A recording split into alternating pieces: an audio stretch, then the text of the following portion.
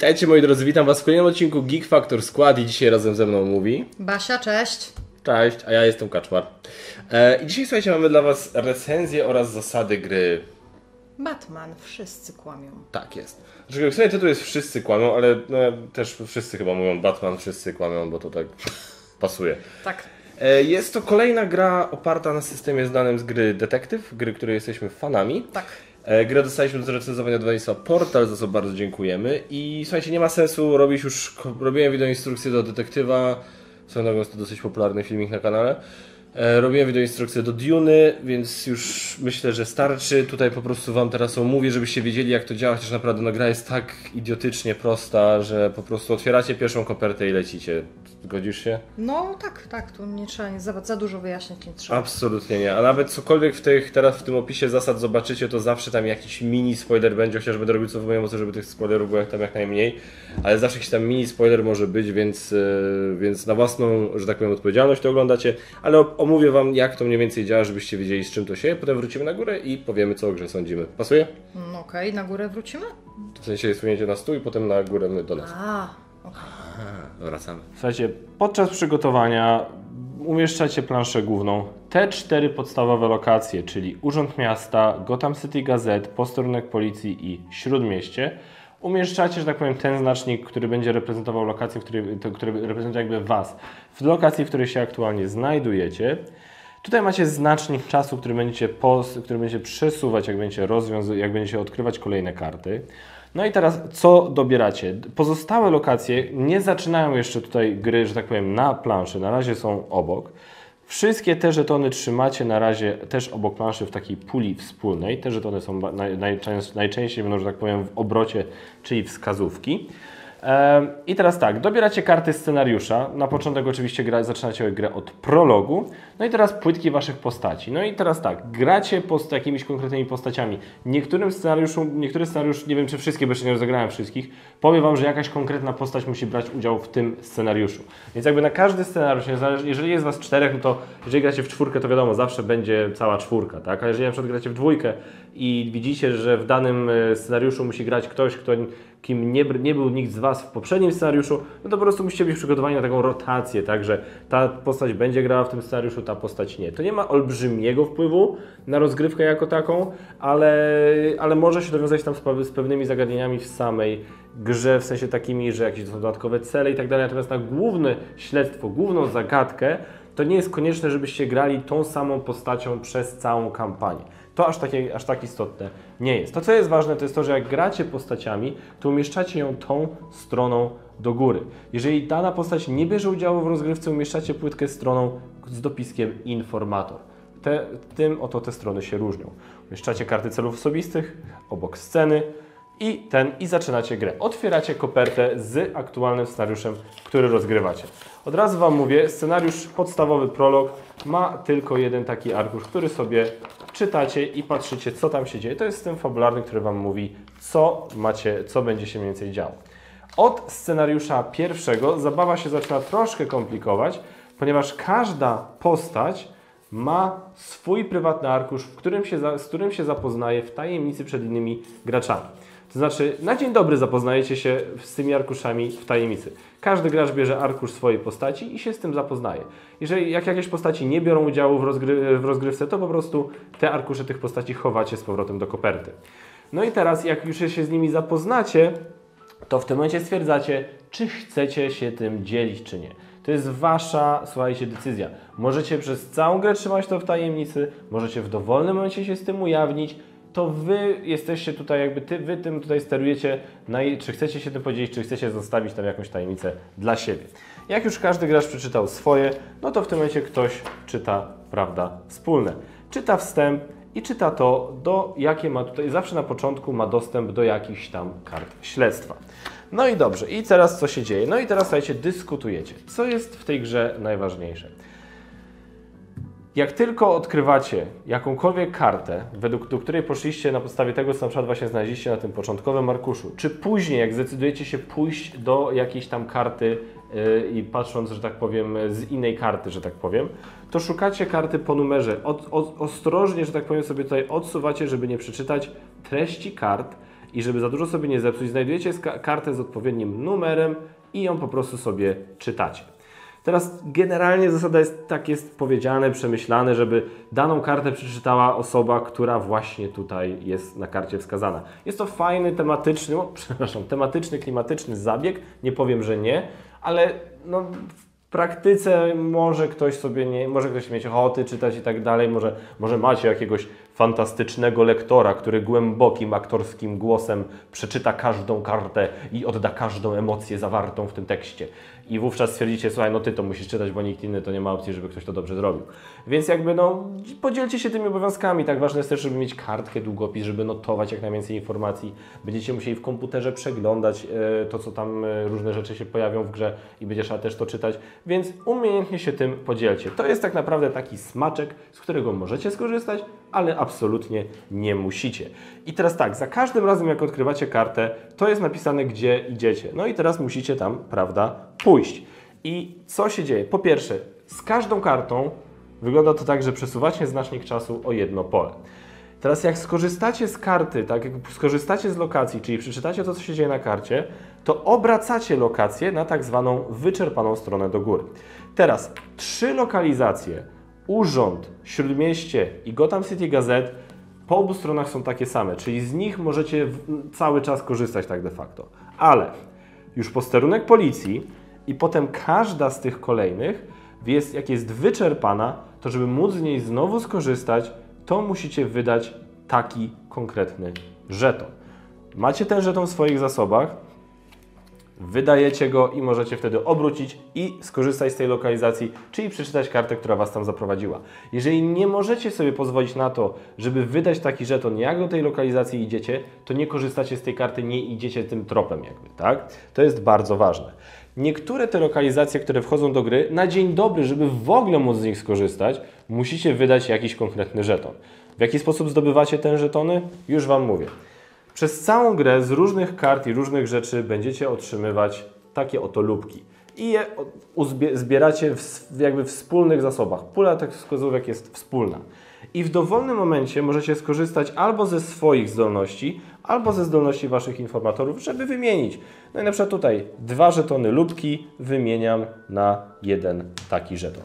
Proste, proste. W taki sposób, więc jak na przykład macie dużo lupek, prawda, bo uzbieraliście i stwierdzacie, kurde, musimy iść na posterunek policji, ale jest wyczerpany, to wiecie co?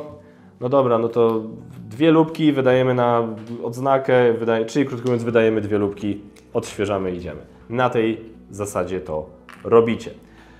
Czyli w ten sposób działa korzystanie z tych żetonów. Każda postać, która bierze udział w rozgrywce, również może poprosić innych o zgodę, żeby wydać jedną lubkę z zasobów wspólnych, żeby dobrać żeton ze swoją postacią. Teraz słuchajcie, co się będzie działo na samych kartach, tak? To są karty z, pierwszych, z pierwszego scenariusza, będzie zaraz jedna karta z drugiego scenariusza, nie bójcie się tutaj, inaczej zrobimy to, może o, zrobimy to w ten sposób, prawda, żebyście nie widzieli nic z tekstu. Generalnie idea jest tutaj taka, że na kartach znajdziecie różne polecenia. Na przykład dobierz scenę 2. Idziecie w tym momencie do kart stali scen, szukacie odpowiedniej sceny i ją wykładacie przed sobą. Nie przyglądajcie się, bo to nie, nie, nie, sobie zabawy. No i w tym momencie macie to przed sobą. To Wam może coś podpowiedzieć, tam mogą być jakieś wskazówki, które mogą Was naprowadzić na jakieś tropy, żeby wiedzieć, które, wiecie, gdzie iść, co robić i tak dalej, albo jakieś tam rozwiązania Wam już podsunąć. Ale generalnie ma to, prawda, trochę nabudować klimat. Kolejną rzeczą, którą może się zdarzyć, jest y, to, że w momencie, że będzie, jak przeczytacie kartę, to macie taką ikonkę strzałki na dole. To po prostu oznacza to, że macie kartę obrócić i czytać ją dalej. No i w efekcie często, gęsto będziecie mieli właśnie dobranie lubki, którą dajecie do zasobów wspólnych, no i potem kolejne tropy, którymi możecie podążać. Co jest też ważne, może się zdarzyć, że traficie na karty, które pozwolą Wam realizować Wasze prywatne cele. I w tym momencie gracz, który w Wiki Veil, jeżeli bierze udział w rozgrywce oczywiście, może odrzucić jeden taki żeton i w tym momencie może zrobić, uwaga, przeczytać w tym wypadku kartę E. W tym celu idziecie do, do talii kart celów osobistych i podobnie ostrożnie bardzo szukacie odpowiedniej karty, wyciągacie, czytacie ją i postępujecie zgodnie z instrukcjami. Ponownie, decyzja należy do Was, czy się dzielicie tą wiedzą z innymi, czy nie. No i ostatnią rzeczą, którą możecie tutaj znaleźć tak, tak na kartach, o której Wam tutaj jest sens, żebym powiedział, to jest to, żebyście przeczyto, przeczytali akta jakieś tam. Jak już się zalogujecie na stronie i wykonacie wszystkie tam czynności związane z logowaniem, no to wiadomo, odpalacie sobie ten scenariusz, który chcecie odpalić. Zaczynamy oczywiście zawsze od prologu. I w tym momencie, jak Wam się prolog, a właściwie dowolny scenariusz załaduje, no to zawsze widzicie, macie pokazane, tak będziecie mogli też zawsze pokazane, które postacie biorą udział w rozgrywce, zawsze to sobie tutaj wybierzecie. I tutaj, jak będziecie chcieli e, przeszukiwać akta wspólne, to zaznaczacie wspólne. Jeżeli dostaniecie polecenie, żeby przeszukać akta jakiejkolwiek konkretnej postaci, to w tym momencie będziecie mieli dostęp, do, e, kliknąć, musieli kliknąć na tę konkretną postać. Jak otrzymacie informację, żeby na przykład przeszukać akta małpa 002, to wchodzimy po prostu tutaj, klikamy wprowadź numer akt, robimy małpa 002 i robimy wyszukaj. On mi ten akt szuka i ja sobie je następnie przeglądam. Tutaj oczywiście wyjdę, żeby Wam nie psuć zabawy. Jak będziecie już gotowi i stwierdzicie już wszystko, wszystko wiemy.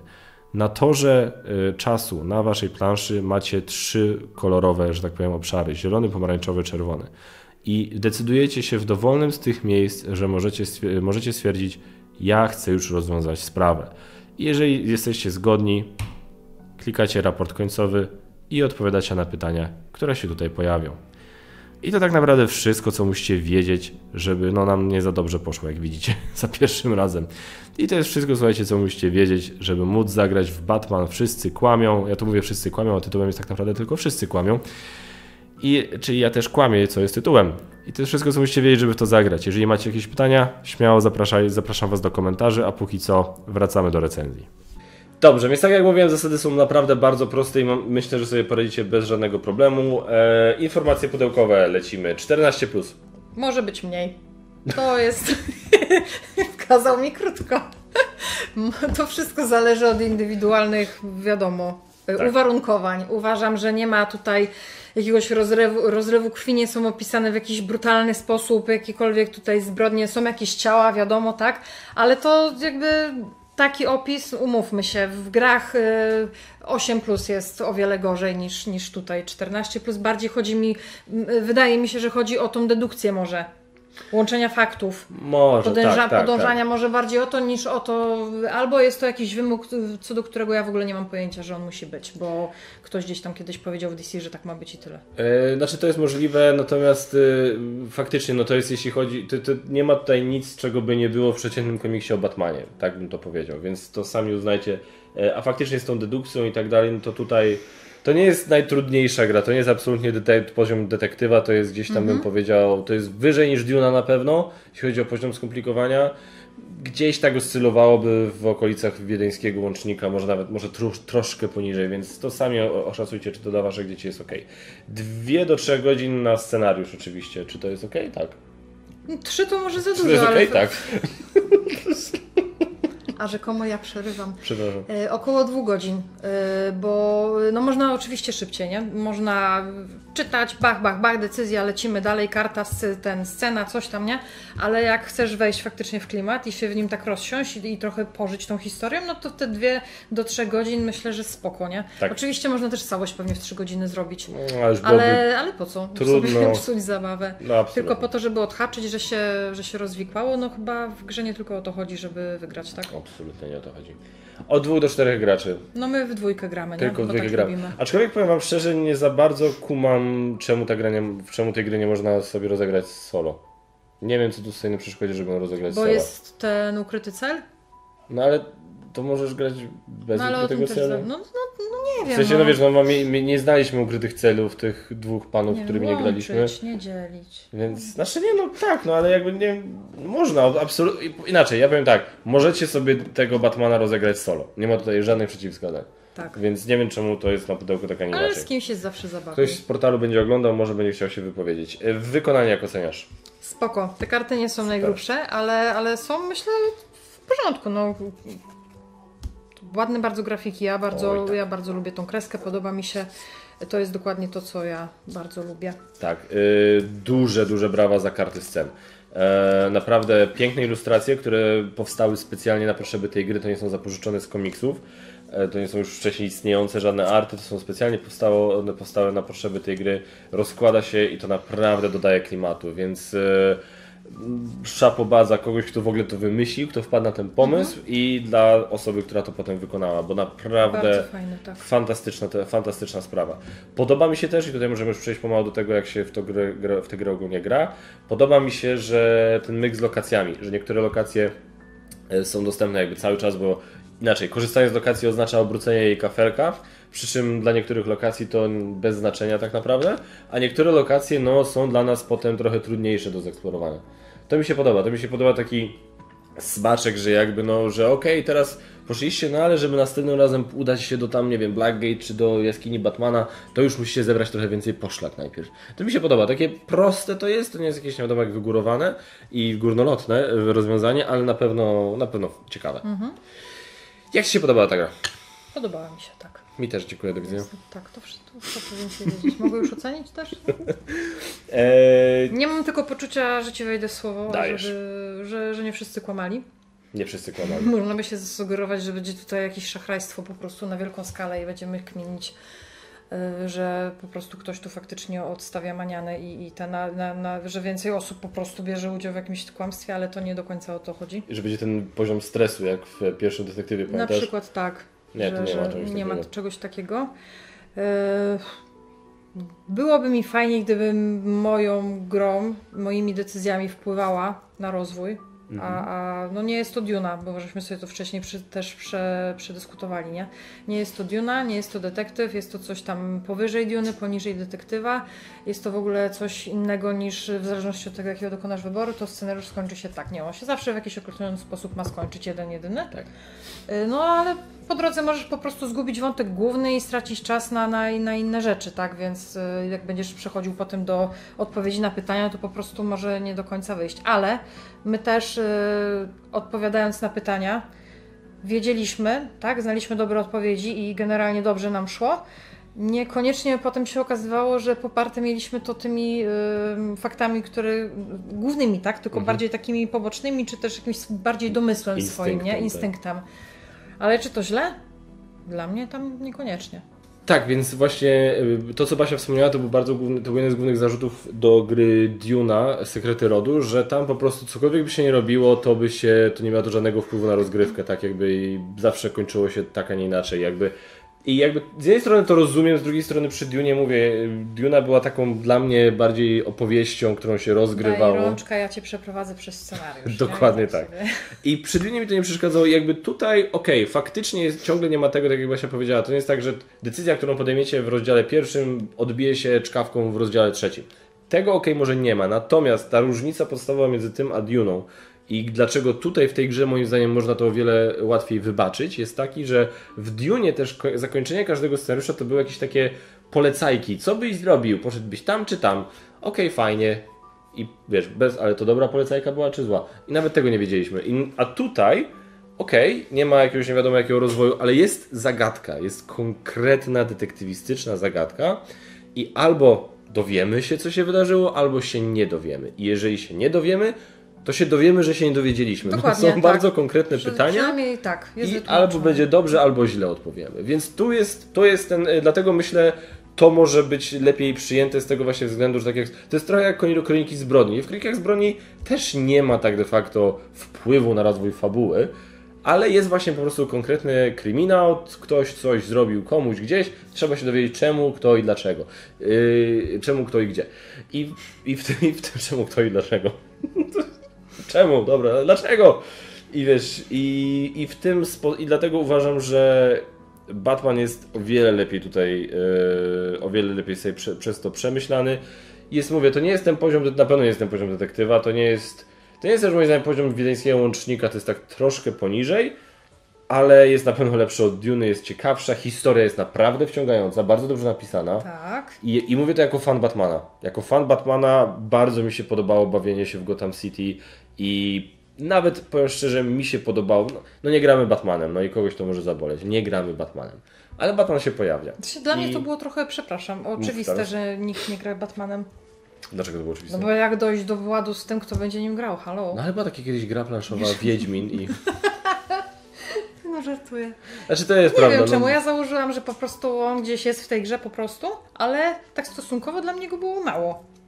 było go ale mało, nie było go mało, żałuję tego, bo co? No Bo- bo były postacie, które wpadały też, nie? Były inne postacie, które się pojawiały na drugim planie, tylko jeszcze dodam od siebie, że oprócz tego pana Spaceya, Spaceya to znam każdą z tych trzech postaci z komiksów, z filmów, seriali. E, Gratuluję. a, dziękuję. Ale jakby i każda z...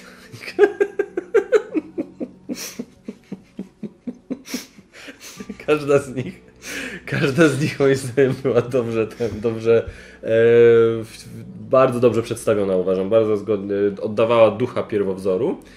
E, natomiast ty miałeś jakiś tam zarzut co do tych postaci trzecioplanowych, które się pojawiały. No bo tam, niektóre pani, z nich pan. uwielbiam, jedna pani nagle jest, kurczę, ona tutaj jest, wow, jak fajnie, on już był ten, już był tamten, był jeszcze ona, super, ale ona tak była, coś tam, chwilę coś o niej powiedzieli, coś tam ona sama powiedziała i za chwilę jej nie było i ja miałam taki niedosyt. No i ja rozumiem, że gdyby oni więcej w tym brali udziału, to by ta fabuła jeszcze się bardziej rozwinęła, ale jak się mnie ktoś pyta, hmm, teściowej się uśmiechnęłam, sorry.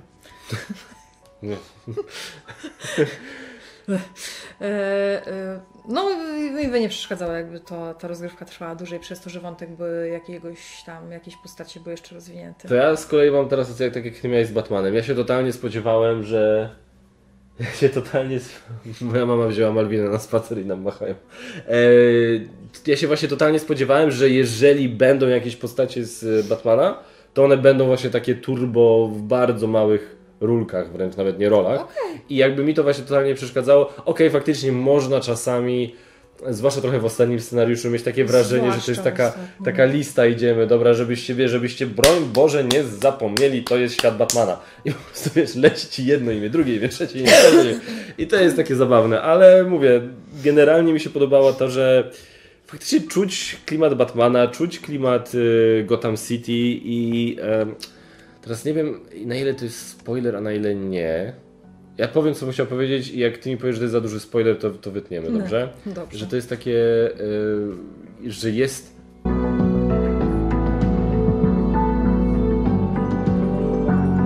Kurczę, ryzykowne, co? no Dobra, to nie mówimy, to wycinam. To jednak, nie. to się wycięło. Bardzo delikatne. Jak ktoś by chciał wiedzieć, o co mi chodziło, to możemy, możecie się tam gdzieś zagadać na Facebooku, to napisz, o co mi Po chodziło. prostu zagrajcie. Myślę, że jak jesteście fanami Batmana, to, to, to, to... Jak to teraz? To bez sensu. No nieważne, nieważne. To się wytnie. To się wszystko wytnie. E, więc, e, więc tak. I ciekawa historia. Zagadki moim zdaniem nie za trudne, nie za łatwe, chociaż faktycznie było czasami tak, że mieliśmy poczucie, że dobrze odpowiedzieliśmy, ale na podstawie bardziej intuicji tak, niż tak, konkretnej to, ale karty, to nam się zdarzało dostaliśmy. już tak wcześniej. No tak. Ja się dowiedziałem o sobie przykrej rzeczy, Że musisz nutować, żeby dobrze grać. a nie cierpię notować. Ale znaczy się to nie jest, to jest bardzo dobra rzecz, bo wiecie, to w taką grę jak jedna osoba ma trochę więcej ikry niż ta druga i ma ciągnąć grę sama, to to tak y, nie za bardzo, nie? To tak morale też trochę opada, a w tego typu grze to dobrze, żeby morale były wysokie u dwóch osób, jeżeli Tak. w dwójkę grają. I faktycznie zauważyłam, że jak y, Kaczmar notował, to, to lepiej to wszystko szło, bo też mi się wtedy od razu bardziej chciało. To też mnie motywowało, żeby jakoś się bardziej spiąć. A no był taki jeden raz, jak usiedliśmy totalnie zmęczeni, ale też totalnie zmęczeni, ale totalnie chcieliśmy jednak grać. Bo I to wtedy podobało. tak, y, ja nie wiem, czy ktokolwiek wtedy, ktokolwiek, czyli z całych nas dwóch osób nikt nie notował, bo mi się strasznie nie chciało, tego nie lubię, Paweł tego nie lubi jeszcze bardziej. No i ta rozgrywka taka była, kurczę, mogła pójść lepiej, nie? Ten, nie ten zupełnie pierwszy, Nie, nie, nie, no, ten pierwszy Ten pierwszy z tych trzech takich głównych. No, no, no, dokładnie tak. Także, no ale to jakby wszyscy wiedzą, nie do takiej gry siadasz y, z odpowiednim nastawieniem, z motywacją, yy, no i po prostu jak się gra, to dobrze te scenariusze w miarę gdzieś tam w czasie rozegrać blisko siebie, bo, bo to traci Tak, potem. zdecydowanie tak. E, I taki jeszcze mini spoiler to jest tak, że tak jak w Dune była mapa, z którą się nic kompletnie nie robiło, e, bo była mapa Arrakis, tę mapę miejcie w pobliżu. O Jezu. Się przydała w jednym scenariuszu. No ja nie mówię, że nie, ale to...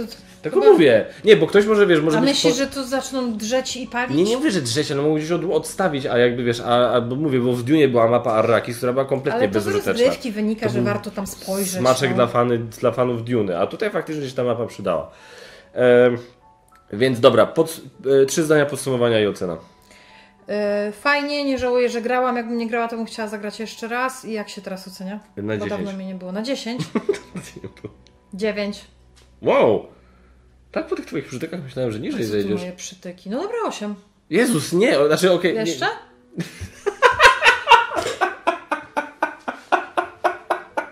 Będziesz wnerwiał, to do sześciu zejdę. Nie, 8 to jest moja najniższa ocena. Yy, Bo faktycznie się cały czas, dzia- s- cały czas się waham, czy 8, czy 9. Ale jak jest skala do 10, to 8 jest yy, tą oceną, tak. A jakby była do ilu, to by była osiem. Ale nie ma, to po co chcesz wiedzieć? No jątrzy i jątrzy, jak ten facet na poczcie. Ode mnie też ode mnie to jest też ósemka. Jest to naprawdę, jest to zdecydowana poprawa jeśli względem Duny. E, Podoba mi się właśnie to, że się bawimy w tym świecie Batmana. Podoba mi się, podobają mi się karty celu, które mogłyby być trochę ciekawie No rozwiązane, ja bym bo się jeszcze pobawiła w tym świecie. no właśnie. E, Te karty celu były fajne, jeżeli ktoś nie miał celu takiego A, samego jak cel główny, o tak, tym, który zapomnieliśmy. tak, tak. A dużo kart celów osobistych było takich, gdzie ten cel osobisty był po Powielał danej postaci był taki sam jak cel główny, albo bardzo, bardzo zbliżony. Ja trochę, Więc- zwłaszcza grając Catwoman, przepraszam, ale zaraz zapomnę, co chcę powiedzieć, bo Mów, to już mów. wiek. Y, To się trochę spodziewałam, że może ja będę trochę taka zwodnicza i że trochę Cię będę musiała oszukać Mhm. y, i Składam. przez to trochę ucierpię. No właśnie, no właśnie.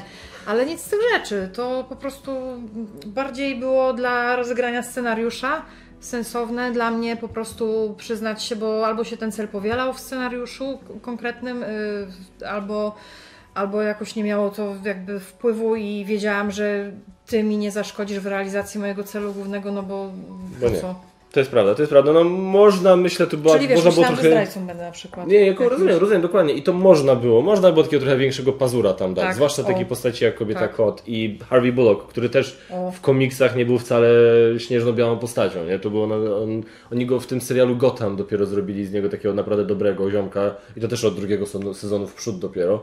A tak de facto w komiksach Harvey Bullock był taki troszkę tam szemrany, no Mhm. i jakby też swoje za uszami miał. Więc y, można było z tymi postaciami się trochę, trochę pobawić.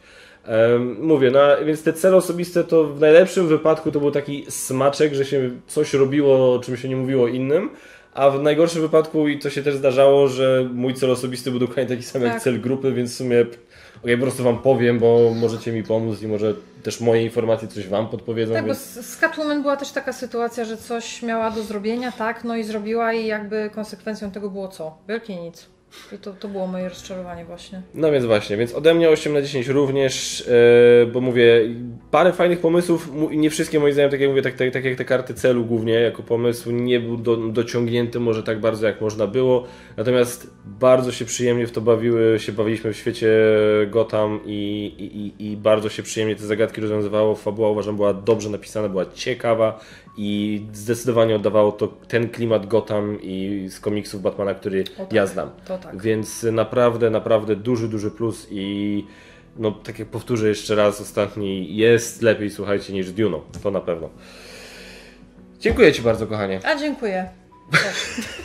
A, dziękuję, jest miło, jestem Basia, hello. Przepraszam. No nie, bo tak. Ja sobie chciałem w piątek po południu wieczorem nagrywać recenzję, no ludzie.